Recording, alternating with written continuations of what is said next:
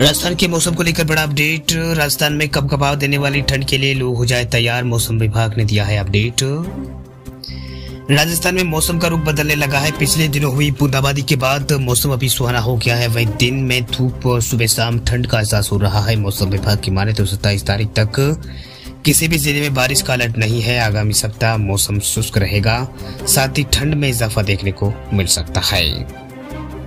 दरअसल मौसम विभाग के अंदर जयपुर के अनुसार जो है आगामी दिनों में जो है तापमान में तेज़ी से गिरावट देखने को मिल सकती है, जिसके चलते ठंड बढ़ने लगेगी। वही नवंबर माह की शुरुआत के साथ ही प्रदेश में कड़ाके की ठंड पड़ना शुरू हो जाएगी। वही मौसम में लगातार हो रहे बदलाव को देखते हुए लोगों को जो है अभी उन्नी कपड़ा जो है लोग निकालना शुरू हो चुके हैं, जिसे यहाँ पर जिस तरीके से मौसम में तेज़ी से बदलाव होने से देखते हुए दिवाली के बाद कड़ाके की ठंड पड़ने के आसार जताए जा रहे हैं। एंड दिवाली के बाद कड़ाके की ठंड का असर शुरू हो जाएगा। बता आपको पिछले दिनों पश्चिमी विक्षोभ का असर से राजस्थान के कुछ हिस्सों में बारिश हुई थी।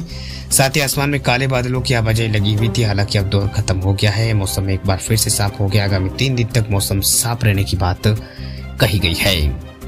तो राजस्थान में मौसम को लेकर जानकारी सामने आई है कि राजस्थान में भी लोगों को ठंड के लिए तैयार रह जाना चाहिए पूरा, क्योंकि अभी जो है राजस्थान में आगामी दिनों में जो है ठंड जो है वो तेज होने वाली है। अभी एक नवंबर तक चुका मौसम विभाग ने पूर्वानुमान जारी किया, जिसमें जो है एक नवंबर तक मौसम शुष्क रहने की बात कही गई है।